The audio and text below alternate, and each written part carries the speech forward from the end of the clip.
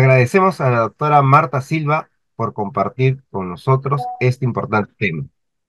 Ahora vamos a pasar al bloque de preguntas. Para ello, nuestra expositora dará lectura de las preguntas que fueron formuladas y que se le han enviado a través a su WhatsApp personal para que ella pueda absolverlas. En todo caso, los participantes también pueden levantar la mano en el Zoom para habilitarles el audio y puedan formular sus preguntas.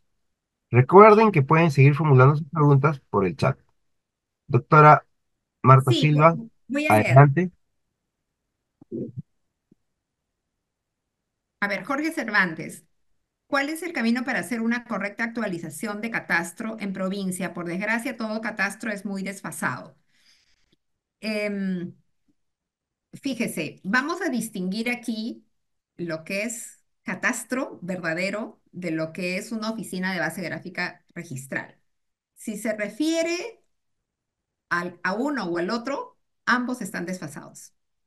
Yo creo que un catastro más confiable es el catastro rural, ¿no? Desde la ley de reforma agraria, que el gobierno se preocupó mucho del catastro rural. Creo que en el ámbito urbano está muy atrasado el tema del catastro, eh, que está a cargo de las instituciones, ¿no? Creo que está muy, muy atrasado.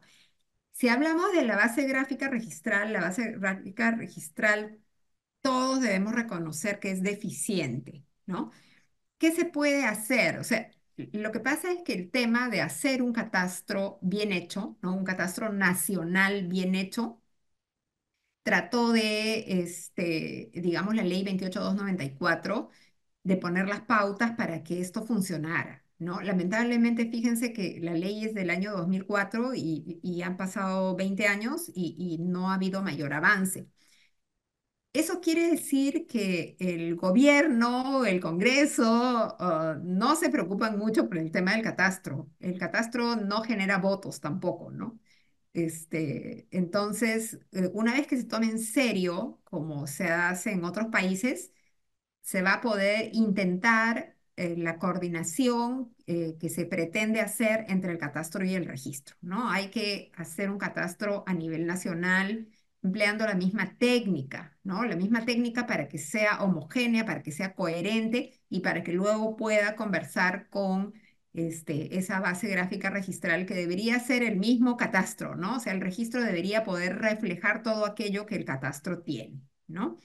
Eh, no le puedo dar una receta, como me está pidiendo, cómo podría ser en provincias. La verdad es que esa es una tarea titánica y requiere voluntad, ¿no? Voluntad política, básicamente.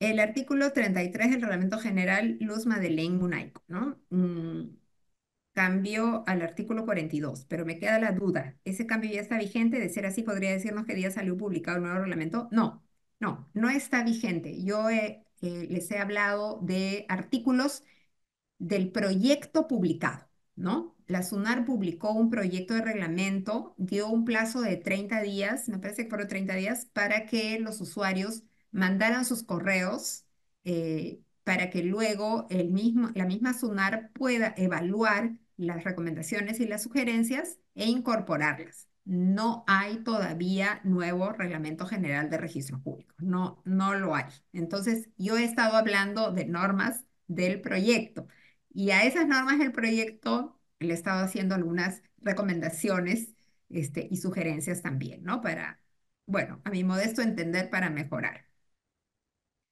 A ver, Walter Galloso. En el proceso de calificación registral, si un acto es observado y es subsanado mediante otro acto que lo aclara y ratifica y convalida, ¿por qué los registradores insisten en la observación del primer acto y no aplican la norma del Código Civil que establece que al convalidar un acto se retrotraen los efectos al acto convalidado? Sobre eso, hasta hay un precedente de observación obligatoria.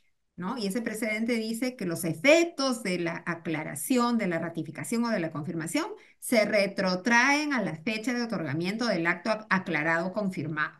Entonces, en realidad, si es que todavía hay observaciones sobre este tema, la verdad es que estamos mal, ¿no? Porque solamente en el caso de actos nulos no podrían ser convalidados, pero en ese caso el registrador debería tachar de plano y no permitir un reingreso de un título aclaratorio que no va a tener absolutamente ningún efecto retroactivo. Solamente los efectos retroactivos los tienen los actos aclaratorios o ratificatorios. Yo soy de acuerdo en este, criticar ese tipo de observaciones si es que se están produciendo, ¿no? Edson Castro, en los procesos de saneamiento físico legal de predios, la mayor cantidad del tiempo se demora en registros públicos, el cual desalienta o demora el desarrollo inmobiliario. Debe contemplarse la modificación de plazos en días calendarios y no en días hábiles. Al respecto, ¿se tiene previsto alguna normativa para acelerar la atención al administrado? Bueno, yo no puedo hablar por registros públicos, ya no trabajo en registros públicos. Este, como les he dicho, yo soy una usuaria también preocupada por los plazos, ¿no? Como todos los, los, los usuarios. Yo no creo que cambiar días hábiles a día calendario ayude, ¿no? No me parece que sería realista, ¿no? No sería realista pretender este, acortar los plazos, ¿no? Este, los plazos se están manteniendo, ¿no? En el proyecto de reglamento también se están manteniendo los plazos básicos de la vigencia del asiento de presentación, plazos de calificación, pero eh, sí yo, yo creo que debería haber un mayor control para que se cumplan los plazos. Em, entiendo que los registradores muchas veces se sienten agobiados cuando tienen demasiados títulos, ¿no? No es lo mismo trabajar en primera instancia que trabajar en segunda instancia. En segunda instancia, la carga es mucho menor y por eso es que los vocales tienen más tiempo de pensar eh, porque no se trata tampoco de sacar apresuradamente los títulos y sacarlos mal calificados, ¿no? Eh, mal calificado implica erróneamente observado o lo que es peor, erróneamente inscrito, porque el título una vez inscrito ya no se puede anular, ¿no? Entonces, este, yo creo que el tema de los plazos pasa simplemente por un control que tiene que hacer la, el área administrativa, ¿no? Digamos, la, la gestión, este, eh, preocuparse de eh, que sus eh, registradores, sus asistentes y el personal en general cumpla con los plazos que no están siendo realistas, ¿no? Eso es algo que, que también me he percatado. Este, Nicole Luque. Sin una observación, el registrador cita resoluciones diciendo que se siga sus criterios, pero estas no fueron base de precedente de observancia obligatoria ni declarado como tal en la resolución, ¿se considera que dicha observación es válida? Sí, la observación es válida si se basa en resoluciones del Tribunal Registral, porque eso quiere decir que el registrador está de acuerdo con esas resoluciones que en su oportunidad denegaron determinada inscripción. No significa que, este, que el usuario no pueda tener mejores razones y en base a esas mejores razones, en primer lugar, este, tratar de convencer al registrador con sus razones que discrepan de esas resoluciones del tribunal registral, o ir al mismo tribunal registral y que el tribunal registral cambie su criterio, porque eso es algo perfectamente posible. O sea, el tribunal registral ha cambiado su criterio en determinadas situaciones. No es que lo, lo ande haciendo permanentemente, ¿no? Pero todos evolucionamos y es posible hacer el cambio de criterio, pero si es que alguien invoca una resolución y hace suyo los fundamentos para denegar, yo creo que es válida la observación, que no, no habría que cuestionar. A ver, un ratito me he perdido acá. Ah, ya, Luz Alejandra Infantas. ¿Podría por favor indicar si hay link para la emisión de certificados de asistencia? Uy, eso no me lo preguntes a mí. Este, yo soy invitada. Edson Castro. El cambio de uso de rústico a urbano, de acuerdo al Reglamento Nacional de Edificaciones, solo se puede realizar mediante proceso de habilitación urbana y todo el procedimiento administrativo está regulado en la Ley 29090 y es incorrecto. Sí, justo Edson, lo que puedo decir es que recién el Tribunal Registral ha reconocido que la única forma para hacer el cambio de rústico urbano es mediante los procedimientos de la 29090, ¿no? Este, y lamentablemente puede ser errado lo que se estaba diciendo antes, ¿no? Porque lo único que me puede a mí acreditar el certificado de zonificación o certificado de parámetros es que el predio se encuentra ya en zona urbana, ¿no? Este, pero no que es un predio urbano, porque un predio urbano es sinónimo de predio habilitado, Entonces, sí, el Tribunal Registral acaba de, de decir lo que en realidad este, es correcto, ¿no? Si se quiere mantener la condición de rústicos de los predios resultantes. Eh, lo que pasa es que en esta, en esta, en este presente, que es el último que he comentado, el tema es que yo puedo tener un gran predio rústico, ¿no? Un predio rústico de muchas hectáreas. El Reglamento Nacional de Edificaciones me permite desmembrar eh, partes eh, que no sean inferiores a una hectárea. Una hectárea es el área mínima que puede tener una parcela rústica.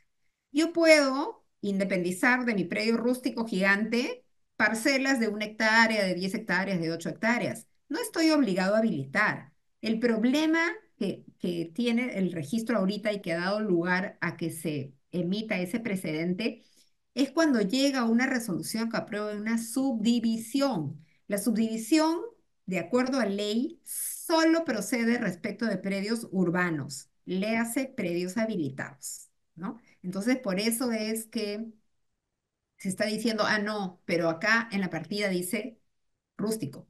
Entonces, no puedo, subdividirlo porque no me, no estoy convencido de que es un predio urbano, porque no está inscrita la habilitación, ¿no? Entonces, suena lógico, ¿no? Sí, pues debería ser un predio habilitado, pero a estas alturas le voy a pedir que me traiga la habilitación urbana, que el pobre usuario ni siquiera sabe dónde está y que la municipalidad muchas veces no da razón. Yo creo que no es oportuno porque no es indispensable inscribir la habilitación urbana. Finalmente, cuando uno lee una partida registral, lamentablemente, ¿no? Y esto me, me ha pasado en mi práctica, este, está inscrito en una subdivisión, entonces es urbano. No, yo tengo que decir no, no necesariamente. Las municipalidades muchas veces aprueban subdivisión de, de predio rústico y le llaman lote, le llaman lote. ¿Deberían llamarle parcela? Sí, deberían llamarle parcela, ¿no? Este, pero eh, como les repito, en la actualidad es bien complicado retroceder. O sea, es como si yo mejor quisiera crear un registro nuevo donde empiezo en orden inscribiendo un gran terreno, luego su habilitación y luego su este, independización, subdivisión y luego su declaratoria de fábrica. Pero no ocurre así, porque tenemos predios inscritos desde el año 1888 que se han inscrito muchos como rurales o como rústicos y que por ahí se perdió el tema de la habilitación urbana y que es una aguja en un pajar encontrar, ¿no? O que nacieron como urbanos, que es lo otro que les dije, ¿no? Nacieron como urbanos y por lo tanto sí son urbanos. ¿Hay resolución de habilitación urbana? No. ¿Por qué? Porque la primera norma de habilitación urbana es de 1924. Entonces, si se inscribió antes y me decía que era urbano, le debo creer, ¿no? Por si acaso, consultar en la municipalidad, sí, pero la municipalidad no tiene tampoco un TUPA que a uno le digan cuando un predio está habilitado o no. Esa consulta realmente no existe, al menos no en los TUPAs que yo he visto. Entonces, ese es un problema que tiene incidencias eh, prácticas sobre todo, ¿no? Bueno, he terminado con las preguntas que, que me han mandado a mi correo, a mi, a mi WhatsApp, perdón. Este, creo que tengo tiempo, tengo tiempo, este, Amador, para responder algunas cuantas, creo, ¿no? Sí, doctora, sí. Ya. Entonces, eh, de lo que me han mandado a mi WhatsApp, ya terminé. Ya, doctor, entonces vamos a habilitar este, el micro. A ver, por favor, equipo técnico, a Robert Gil Guamán, si le pueden habilitar el micro, por favor, conciso con su pregunta. Hola doctora, buenas noches, ¿me escucha? Sí, perfectamente. Buenas noches, doctora. Doctora, le escuché decir que cuando hay discrepancia durante el registro, durante la- una inmatriculación, cuando hay discrepancia entre una memoria descriptiva o plano y con la parte de la minuta notarial, lo que vale es la, lo que dice en el plano. Sí, sí, eso no lo digo yo, lo dice el reglamento de predios. ah, claro, doctora, eh, eso yo lo leí también en un pleno que, que, que hicieron en el 2013, ¿no? Pero eso, eh, doctora, ahí aclaran que siempre y cuando El área de catastro indica que el, el plano eh, corresponde a lo que dice en la parte notarial. Así aclara, no, no, no No, es no, que. no, no, no, eh, usted está confundiendo, me parece. O sea, eh, una cosa es eh, los requisitos del plano en inmatriculación y otro es los requisitos del plano en actos secundarios, ¿ok? Porque cuando yo voy a recién incorporar el predio al registro, recién voy a consignar su, su descripción física y tengo discrepancias entre el título y el plano, ahí sí, uno, el plano tiene que haber sido emitido por un ente generador de catastro. Y dos, el área técnica tiene que decir que ese plano corresponde al título. En el caso de inmatriculación, cuando son actos secundarios, por ejemplo, declaratoria de fábrica, independizaciones, ahí si yo tengo discrepancia entre la memoria descriptiva y el plano, el plano es el que prevalece. Y eso lo dicen las normas del reglamento de inscripciones del registro de predios. Entonces son dos este, eh, situaciones distintas, ¿no? Uno es el tratamiento en inmatriculación y otro es el tratamiento en actos secundarios. Siguiente, este, vamos a habilitar el micrófono al señor Manuel Segarra Rojas. Por favor, equipo técnico. Adelante, señor Segarra. Muy buenas noches. ¿Me escucha, doctora? Sí, perfectamente. Ya, mire, doctora, yo soy eh, perito judicial. Entonces, como peritos, usted sabe que nosotros, eh, bueno, los jueces eh, ordenan algunas este, unas sentencias. Entre ellas son las subdivisiones. Bueno, nosotros para hacer las subdivisiones generalmente procedemos a pedir una base gráfica a la SUNAR, que es lo que nos da la parte legal, porque si nosotros nos vamos a la base catastral o al SICAR, esas cosas, bueno, estamos hablando de un, tema rural, eh, para que primero, porque no es un tema urbano. Dígame, ya, eh, el juez me ordena, tenemos la partida registral, tenemos todo eso, eh, y nos ordena hacer una subdivisión. Con lo que yo le escuchaba a usted, me parece que usted está diciendo de que para hacer una subdivisión primero tiene, eh, solamente se puede hacer en predios urbanos, no en rurales. O, ¿y qué? Es el término, es el término este, que se utiliza. O sea, eh, lo correcto, de acuerdo al Reglamento Nacional de Edificaciones, es, tengo un predio rústico. ¿El predio rústico lo puedo subdividir? No, pero sí lo puedo independizar. O sea, el uso del término y el uso del tipo de formulario es lo que varía. O sea, el término genérico es desmembración. Si es predio rústico, la desmembración se llama independización. Si es predio urbano, la desmembración se llama subdivisión. no estoy diciendo que un predio rural no pueda partirse. Sí puede partirse. Puede partirse en parcelas, no en lotes, porque los lotes solamente pueden partirse los predios urbanos. Exacto. Doctora, discúlpeme, otra, otra discúlpeme para, este, ya. Este, bueno, yo digo, una, una, vamos a decir que nosotros, como peritos, nosotros este, subdividimos al predio rural, ya en parcelas, ¿no es cierto? Ya le damos las coordenadas y todo lo demás, e inclusive hemos ido al campo. La pregunta es, ¿qué hace, qué hace con esa información el juez? Nosotros como peritos ya mandamos esa información y eso de ahí el juez va a enviar esa, ese trabajo, lo va a enviar a la SUNAT para que lo inscriban, o cómo, cómo, cómo. Perdón, ¿no escuchó? Me refiero que el, el, el... ¿Aló? Sí, sí, se me perdió la conexión, me parece, durante un ratito. Ya, me este, refiero que lo que lo que hace el perito, en este caso, da la información, como le digo, al, a los jueces sobre, sobre la subdivisión en coordenadas. Dígame, el juez, ¿estas coordenadas pueden ser elevadas a la SUNAT para que ya sean registradas esas coordenadas? Es, una, esa es mi pregunta, doctora. Fíjese, para poder incorporar coordenadas o rectificar descripción física de los predios, para cualquiera de esas dos cosas, se requiere un procedimiento, ¿no? Un procedimiento que normalmente lo hace el propietario del predio, porque el propietario del predio lo quiere tener saneado.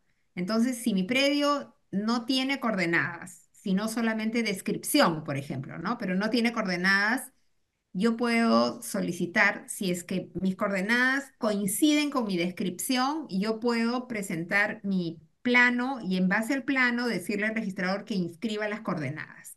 Pero ¿qué pasa si yo presento un plano con coordenadas que no calzan con la descripción física? que discrepan de la descripción física. Entonces ahí yo tengo que seguir un procedimiento notarial o un procedimiento judicial o un procedimiento de mutuo acuerdo o cualquiera de los procedimientos que están previstos en la normativa. Hay siete formas de modificar o rectificar predios en el registro. Entonces, si usted lo que me pregunta no es de un particular, sino de un juez, este, yo no entiendo cómo un juez podría, digamos, en una sentencia, eh, disponer que se inscriban coordenadas. ¿Qué tipo de, de qué tipo de proceso estaríamos hablando? Tendría que ser dentro de un proceso de rectificación de área linderos y medidas perimétricas, ¿no? Gracias, doctora, por su respuesta. Eh, a ver si le damos este micro, por favor, a la señorita Windy Cintia López Julca. Equipo técnico.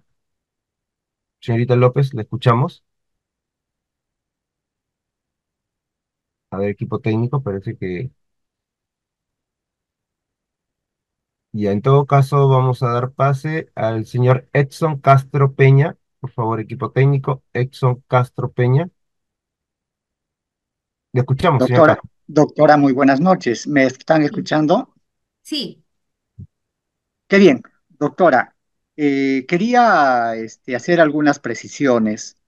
Eh, considero que una subdivisión para ser inscrita en el registro público sí necesariamente debe contar con la habilitación urbana inscrita en el registro público. De no ser, es- de no ser de esta manera, lo que se va a propiciar es que se empiece a promover el tráfico de tierras, puesto que para inscribir un- una habilitación urbana tiene que haber toda una calificación del área de catastro y debe cumplir con ciertos requisitos técnicos, sobre todo de la georreferenciación. Y eso solamente podemos garantizar a través de la habilitación urbana. Sin embargo, lo que sí deberíamos de, de tener cierta flexibilidad en todo caso es que no se exija la recepción de obra para que pueda inscribirse una subdivisión. Porque si bien es cierto, la recepción de obra involucra ejecutar todo el proceso de las obras de esa habilitación urbana que en la gran mayoría de los casos no llegan a culminarse a nivel registral con la recepción de obras, ese hecho impide que ya los predios independizados a través de la habilitación urbana que tienen la posibilidad de subdividirse no puedan inscribirse al registro público.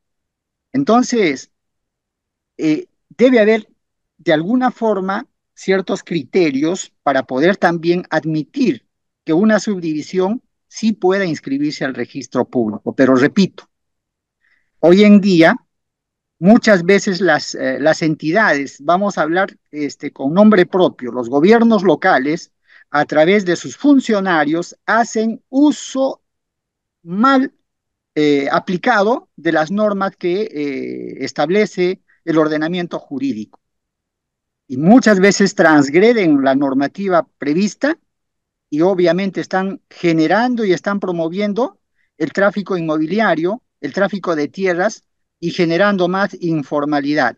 Yo no entiendo cómo es que desde el año 2004 a la fecha, COFOPRI no haya terminado en sanear las propiedades. Y sin embargo, se ha ampliado la ley para que ellos puedan seguir trabajando, ampliado la vigencia o ampliado hasta el 2015, por ejemplo, para poder beneficiarse en el tema del saneamiento de la propiedad. Se ha dado la ley 31560 para que los gobiernos locales puedan también hacer el saneamiento de la propiedad y aquí están haciendo pues prácticamente uso y abuso de esta norma porque se están titulando predios que no reúnen ocupación y con ocupación posteriores al 31 de diciembre. Y en ese sentido, por ejemplo, sería interesante que Catastro de Registros Públicos sea un filtro para poder inscribir estos actos. Si bien es cierto, siempre Registros Públicos dice, no, eso es competencia estricta y exclusivamente de los gobiernos locales y nuestra función de nosotros es registrar, considero que sí, registros públicos a través de su área de catastro debiera de hacer un segundo filtro en ese, en ese tipo de situaciones. Muy amable, doctora, por, por, por el espacio y de veras que hay muchísimo por hablar, muchísimo por conversar sobre temas registrales y que de veras eh, felicito la preocupación que usted tiene, no siendo parte de registros públicos, pero tiene una preocupación para ir mejorando, ¿no? Todas las uh, situaciones normativas que involucra todo este, este ámbito amplio del, de, del, de la, del tema registral. Muchísimas gracias y felicitación a usted y también buenas noches a todos los participantes. Gracias, gracias por emitir su opinión. Eh, última pregunta a la señorita Giovanna, por favor, este, habilitarle el micro. Señorita Giovanna, por favor, si nos puede indicar sus nombres completos. Sí, buenas noches, eh, doctora. Por favor, quería formularle dos preguntas en una a la vez, de acuerdo a la vasta experiencia que usted ha tenido como, como registrador y como vocal de, del Tribunal Registral, doctora. El caso es el siguiente. En una partida electrónica, un inmueble figura como terreno, pero sin embargo, en la realidad, en los hechos, este inmueble ya está edificado, tiene tres pisos y en la municipalidad también está declarado como los tres pisos. Sin embargo, la discrepancia está en registros públicos porque aparece como terreno.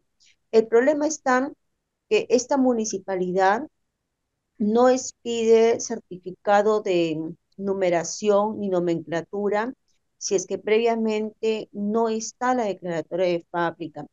Entonces, eh, mi pregunta es, ¿se puede comprar un inmueble así con esa situación en la cual se encuentra? Porque es posible que el registrador público lo observe porque como en el registros públicos no aparece la, actualización de la dirección ni la numeración, aparece la dirección antigua.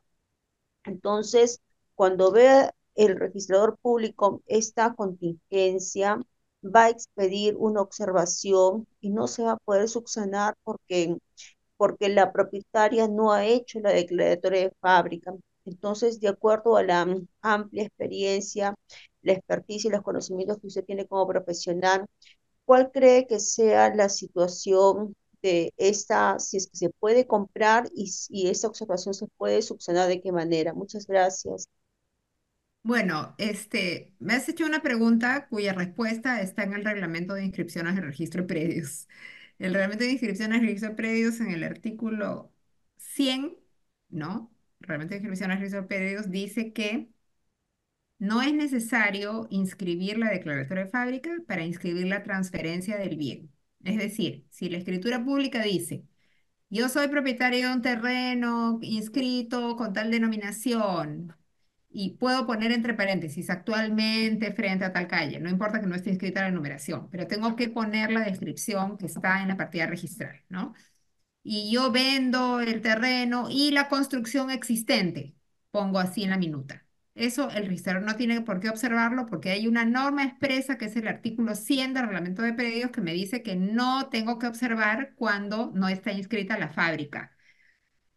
Y también me permite el reglamento, artículo 92, inscribir la numeración, aunque no esté inscrita la declaratoria de fábrica. Ahora, si la municipalidad este, se pone complicada para otorgar la declaratoria bueno, para otorgar la numeración será por una norma interna municipal, pero si la, la fábrica se construyó hasta diciembre del 2016, esa fábrica se podría otorgar eh, por verificador responsable a través de la ley de regularización. Así que eso podría ser una, una norma que les, que les ayude, ¿no? Pero si quieren comprar, no hay ningún problema, solamente que como nuevos compradores tendrían que hacerse cargo ya de regularizar la edificación, ¿no? Muchas gracias, doctora Marta Silva. Agradecemos a las personas que participaron con sus preguntas y, por supuesto, a nuestra expositora por compartir con nosotros este importante tema. Doctora Marta Silva, quisiera decir unas palabras antes de despedirnos. Bueno, sí, agradecer la atención este, de todos los que han estado conectados. Este, yo en verdad me, me, me- me complace mucho siempre hablar de temas registrales. Este, mi carrera profesional prácticamente la, la he hecho en registros públicos, a pesar que ya no estoy. Tengo mi, mi corazoncito registral y creo que se ha dejado sentir. Así que nuevamente gracias por la invitación y por la atención de los asistentes, ¿no? Muchas gracias, doctora.